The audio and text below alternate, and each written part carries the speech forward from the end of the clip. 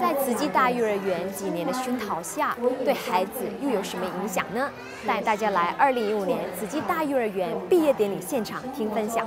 今天是刚刚到慈济大幼儿园的第八届，那也是甲东幼儿园的第一届毕业典礼。五十位来自甲洞大爱幼儿园和班丹英达大爱儿童教育中心的六岁孩子走上舞台领取毕业证书，今后将迈向人生另一个旅程。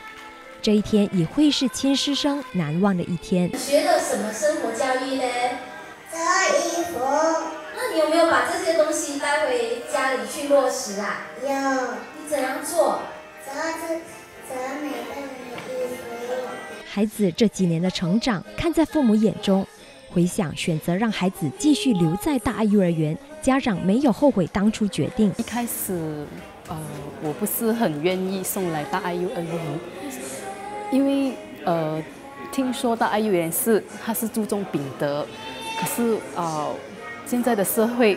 全部都注重学业。之前呢，我们都觉觉得呢，学呃要选一个幼教呢，就是选一个还可以把孩子准备好去上小学了。秉持上人的那个教育理念嘛，他就是注重的就是生命教育、生活教育，啊，然后就是人文教育。大幼儿园不只教课业，也教人文生活。有，我有做到，爱惜身边物，惜福且知足。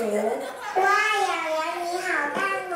毕业典礼上，父母亲分享孩子学习成果。因为在学校也是有学习到环保，所以就每次出出街我们要出出去打包饭，他就会提醒带环保碗这样啦，就不要用纸袋啊。老师教他们，然后他们也在家里真的是听老师说，然后也叮咛我们大人可以学习很多礼貌，我们在家也很难教到的。多有品德的孩子应该不会这样，成绩也不会输在哪里去的。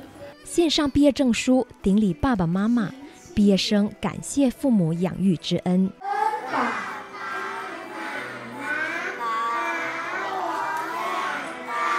大新闻邱婉静、罗国聪，马来西亚报道。